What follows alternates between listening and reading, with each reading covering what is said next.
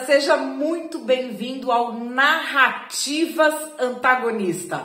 Fato do dia: Bolsonaro preso. Amanhã, eu não vou explicar essa piada, mas você, que é antagonista desde quando tudo aqui era mato, já vai nos comentários e explica pros desavisados a razão desse título. Como é a estreia do Narrativas, é a minha volta aqui para antagonista. Estou muito feliz por estar aqui de novo com vocês. Eu vou explicar como funciona esse programa. Eu vou explicar por quê? Porque é um negócio que você nunca viu. Você nunca viu. Mas você vai ver todos os dias aqui no antagonista. O narrativas ele surge porque essa palavra narrativa a gente tem ouvido muito. E muita gente tem estranhado opiniões muito similares Parece que todo mundo que é de um lado, de um espectro político, opina de um jeito, a mesma coisa, a mesma opinião de todo mundo, Ctrl C, Ctrl V. Do outro também, mesma opinião, Ctrl C, Ctrl V. E as pessoas ficam perdidas falando assim, olha, tudo é reportado com prisma ideológico, eu não consigo mais diferenciar, não sei em quem confiar. Então a gente vai aqui fazer um exercício diário que consiste no seguinte: os fatos, como a esquerda vai noticiar, como a direita vai noticiar e ao final a minha opinião. A minha opinião vai ser um teaserzinho em vídeo, porque você vai ter diariamente a minha coluna que estreia hoje aqui no Antagonista com esse título: Bolsonaro preso amanhã. Aproveita e vai bombando a hashtag Madá no Antagonista, que eu quero ver você aí, hein? Quero ver você botando a minha hashtag. Então, como é que funciona isso do narrativas de apresentar um e apresentar o outro? Eu não vou apresentar sozinha. Você vai participar de tudo. É um processo interativo. Vocês sabem que eu adoro isso.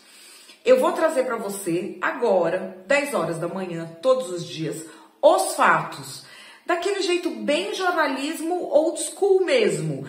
Que, quem, quando, como, onde, por que, acabou. Não vou opinar sobre. E você vai ter até o meio-dia aqui na comunidade do YouTube do antagonista um espaço para votação. Aproveita já pega o link. Você vai votar no quê? Se você quer ver primeiro como a esquerda vai apresentar esse fato na imprensa, ou se você quer ver primeiro como a direita vai apresentar esse fato. Aqui na comunidade do YouTube, você vai ter todos os dias para votação, das 10 até o meio-dia. Vocês votam, a gente encerra e uma da tarde você fica sabendo quem ganhou. Se primeiro vai ser a exposição da esquerda ou primeiro vai ser a exposição da direita. Então, a uma da tarde vai ter um vídeo que é assim: primeiro os fatos, em seguida o que ganhou, depois o que perdeu e no final a minha opinião. Ah, mas eu já vi os fatos, vou ter que ver de novo? Não, é só você pular o capítulo aqui, você já vai direto pro que você quer ver nesse vídeo. A gente vai colocar uma da tarde. Sabe o que eu queria? Que você fosse almoçar vendo o vídeo e já comenta aqui pra mim. Se você estiver almoçando me vendo, já comenta, porque a gente vai passar a almoçar juntos todos os dias. Então agora bora pro fato? Na última sexta-feira, quando foi receber o título de cidadão goiano, na Assembleia Legislativa do Estado de Goiás, o ex-presidente Jair Bolsonaro fez o seguinte discurso: Sei dos riscos que corro em solo brasileiro, mas não podemos ceder, porque a luta por democracia, a luta por liberdade, nossa querida imprensa, liberdade de expressão, vocês nunca viram da minha parte qualquer proposta qualquer discurso para. Ele não usou a palavra prisão, mas o filho dele, Carlos Bolsonaro, usou nessa postagem aqui na internet, pedindo para as pessoas pararem de falar em prisão. Isso é o que se segue a uma semana que foi conturbadíssima, é tanta notícia que talvez você tenha se perdido.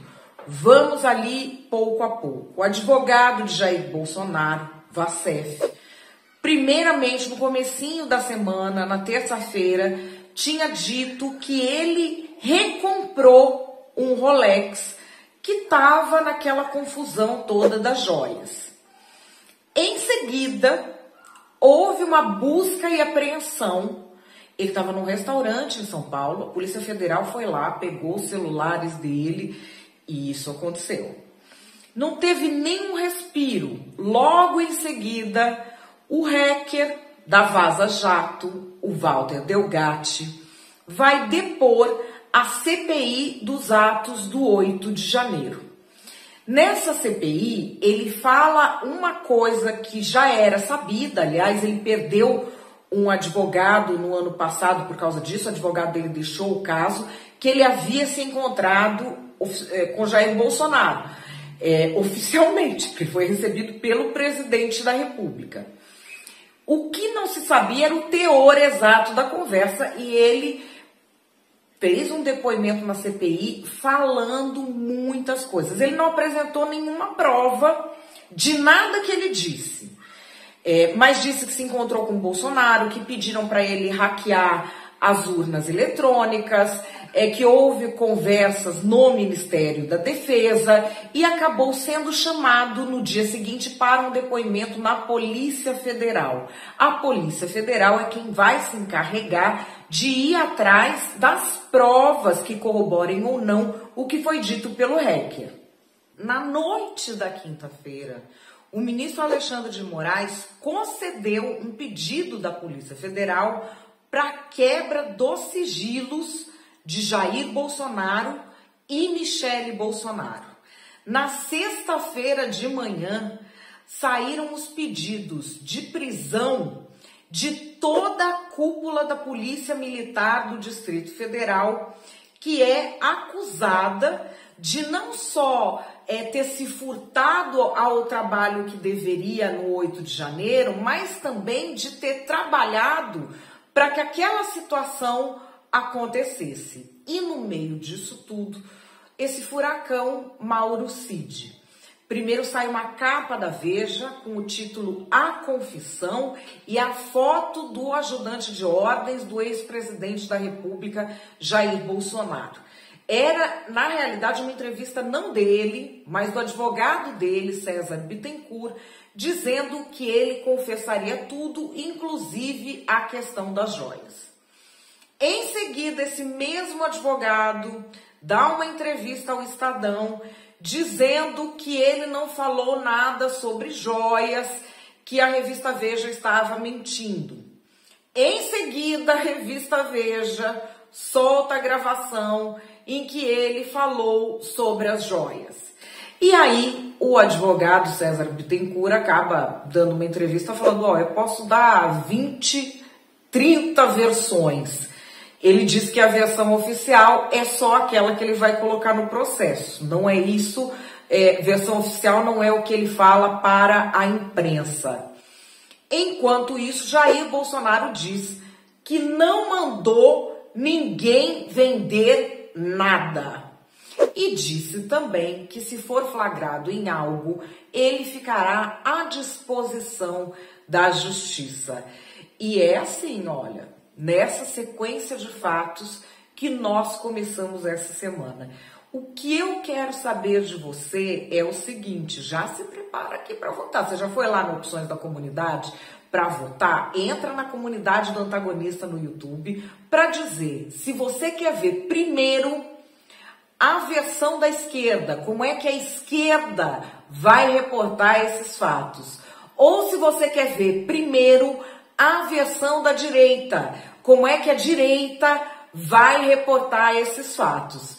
E, é claro, depois você vai ter ali, vamos dizer, um perfume da minha opinião que vai vir na minha coluna de hoje do antagonista. Estreio aqui no antagonista com a coluna do título Bolsonaro preso amanhã, que é a minha reflexão pessoal sobre isso. Enfim, vai votando, compartilha com seus amigos, sobe a hashtag Madar no Antagonista. Eu quero ver você todos os dias aqui, mas sobretudo hoje. Você vota até o meio-dia e eu quero te ver de volta aqui a uma hora da tarde para almoçar comigo e acompanhar o desfecho dessa história.